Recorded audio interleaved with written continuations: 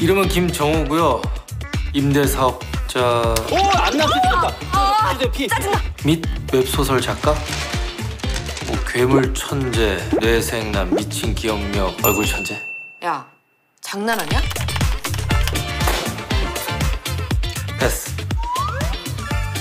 오랫동안 안 만나면 괜찮을 거라 생각했는데 요새 다시 힘들어지기 시작하네요.